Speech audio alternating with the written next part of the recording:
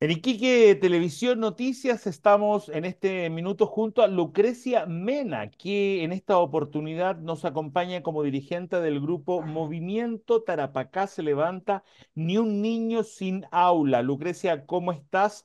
Cuéntame un poco, sabemos que hay 300 estudiantes que tienes dentro de una lista de un grupo que comenzó hace pocos días, estudiantes que no tienen matrícula en Tarapacá. Cuéntanos de qué se trata el grupo y qué buscan.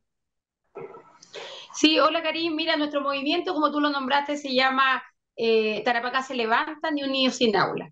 Y esto se dio por la necesidad que tienen hoy día en Tarapacá eh, los papás, las mamás, las familias completas de tener sin escolarización a sus hijos en la región de Tarapacá. Eh, ¿Qué quiere decir esto? Que tú sabes que existe el sistema de las tómbolas muy mencionadas, ¿cierto? Y que en vez de poder regularizar la situación y poder dar facilidad a las familias, que uno en primera instancia lo pensó que así sería, ha dificultado tremendamente entregando esta falta de matrículas y derecho de educación de muchos alumnos de Tarapacá. Este tema está invisibilizado, Karim, y nosotros lo que buscamos hoy día es visibilizar este tema para que la gente tome conciencia y las autoridades pertinentes puedan dar solución a esta problemática real. Una problemática que sin duda alguna ha afectado a la familia entera, a la familia entera, Karim. Mira, hace pocos días nosotros estuvimos conversando con la Seremi de Educación subrogante en Tarapacá, Liliana Valenzuela, y nos indicaba que de alguna manera, si un niño estaba sin colegio, tenía que meterse a una, a una página web ahí del, del Mineduc que la dio en esa oportunidad, lo recuerdo en este minuto, y que después de cinco días el colegio al que se postulaba tenía que dar una respuesta. Cinco días hábiles, nos imaginamos, tenía que dar una respuesta y ubicar al niño en algún colegio. ¿Qué pasa en el, en el caso de ustedes? ¿Eso no está funcionando o recién van a comenzar? No está funcionando, Karim. Mira, según la respuesta de todos los papás que nos reunimos, tuvimos una reunión masiva, esto no está funcionando. Hay alumnos que están hace dos años esperando una matrícula en algún establecimiento, principalmente en la comuna de Alto Hospicio, y no han tenido respuesta alguna. Yo lo viví personalmente y lo vivo hoy día. Mi sobrino del año pasado está sin matrícula en un establecimiento educacional y está fuera de los procesos académicos. Por falta de orientación de muchos, los hijos pierden el año. Porque ¿cuál es la respuesta, Karim? El sistema funciona de esta forma. Te inscribes. Después anótate en la lista, que es otra lista, donde las listas corren, se supone y todo, pero esto no sucede. No sucede. ¿Y qué pasa? Que esto perjudica el sistema y los papás van a Minedu, van al colegio y el colegio dice, no, tenemos que esperar que esta lista corra. ¿Hasta cuándo tenemos que esperar? ¿Hasta mayo, junio?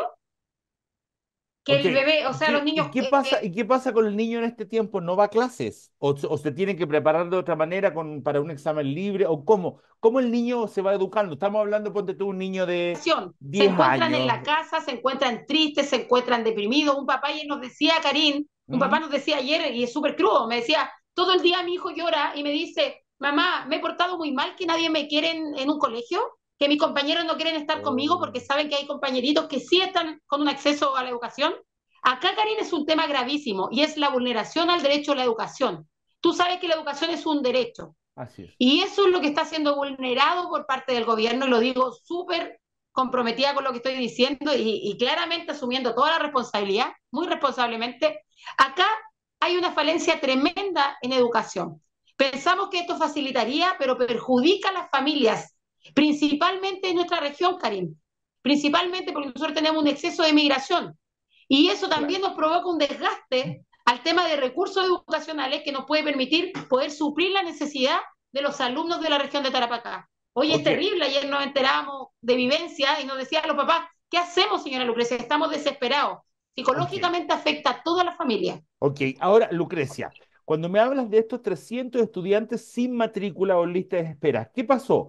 Porque los 300 estudiantes se quisieron cambiar de colegio y no pudieron, eh, pertenecían a ese colegio y este año se le frenó la matrícula, o cómo llegamos a la cifra de 300 niños sin, sin estudios. Mira, la lista de espera del año pasado eran como 700 según la apreciación de profesionales del área de, educación. En este caso, lo que hoy día pasa es que hay niños que pasan de kinder a primero básico y tienen que ingresar por este sistema de admisión. Y no hay matrículas porque ya está todo colapsado. La lista de espera es una medida de parche en la cual ni siquiera entrega un sentido, porque claramente si te dicen inscríbase en esa lista porque el niño va a estar escolarizado, acá no hay nada. Acá tú te inscribes y si tienes suerte, la lista corre y puedes ingresar al proceso de admisión escolar, lo cual perjudica tremendamente. Por eso lo que nosotros buscamos, Karim, con esto es ir más allá, ir a, a las autoridades nacionales, que acá se unan fuerzas políticas de todos los sectores porque es un tema transversal, no es un tema de que yo por tener mi condición política o cualquiera, acá no es un tema político, es un tema transversal, donde tenemos que tener la capacidad de unificar acciones que nos permitan poder dar solución a esta real problemática que estamos viviendo hoy día. No somos solo nosotros, me comuniqué con Coquimbo, con Yanina Mistea, me comuniqué con Arica, con Claudia Bustamante, me he comunicado con muchas y están todas en la misma línea, están con la misma problemática y principalmente nos ha afectado a nosotros que somos más zona norte. Ok, ahora, Lucrecia, ¿cuál sería la solución que ustedes proponen? Nosotros lo que vamos a hacer ahora y la acción que vamos a determinar va a ser poner un recurso de protección a todos los niños que están sin escolarización en la región de Tarapacá, que va a ser lo primero. Ya tenemos la asesoría de los abogados, tenemos todo el trabajo ahí en conjunto con algunos abogados de acá de la región donde vamos a poner esta, esta medida de protección a estos niños para que no pierdan su año escolar. Pensando, Garín, que esto es súper claro. Tú vas a la, Mineduc y te dicen, no, tiene que esperar la lista de espera porque ahora hay un sistema de lista de espera. Después, en dos meses más, si tú esperas, en mayo, en junio, te van a decir, no, ¿sabe qué? No hay opción, pero inscríbase a exámenes libres. Tú sabes que la metodología que utiliza la gente no es eh, la misma del aula. No es la misma que un aula. No, claro. Entonces, ¿qué pasa? Que el 15% de los niños del porcentaje total de inscritos a, exámenes libres no rinde.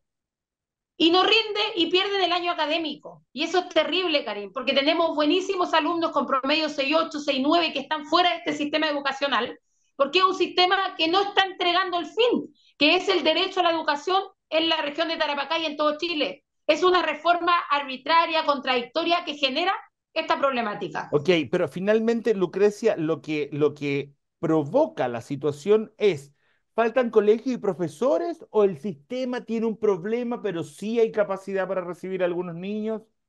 O, o, falta, falta todo. Lo que pasa, Karim, que el, la reforma tiene muchas normas y esas normas no permiten que privados quieran invertir en colegios, en colegios.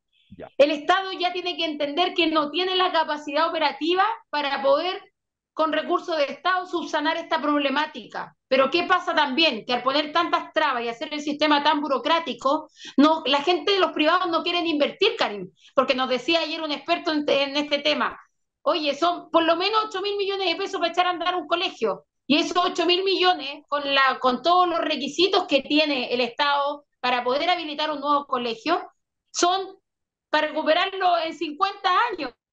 ¿Quién va a querer invertir 8 mil millones para recuperar en 50 años si van a poder invertir en un terreno, construir departamento y lo recuperan en dos años? Entonces, es irrisorio y claramente genera este desgaste. Y como te digo, o sea, nosotros la solución que tenemos hoy día es poder poner un recurso de protección para que los niños no pierdan su año escolar y de acuerdo a eso poder seguir trabajando. Tenemos audiencia ya con los parlamentarios en Santiago, con los diputados, con los senadores y tenemos también apoyo local. Y eso es lo que queremos. Queremos que toda la gente se una y buscar instancias de participación ciudadana para mejorar esta problemática en Tarapacá y dar solución a tantas familias que están hoy día vulnerando el derecho de sus hijos a la educación. Ok. Lucrecia, gracias por haber estado con nosotros y darnos esta entrevista. Eh, Lucrecia Mena entonces estuvo con nosotros en Iquique Televisión Noticias como directora acá del movimiento Tarapacá se levanta ni un niño sin aula. Vamos y regresamos. Muchas gracias.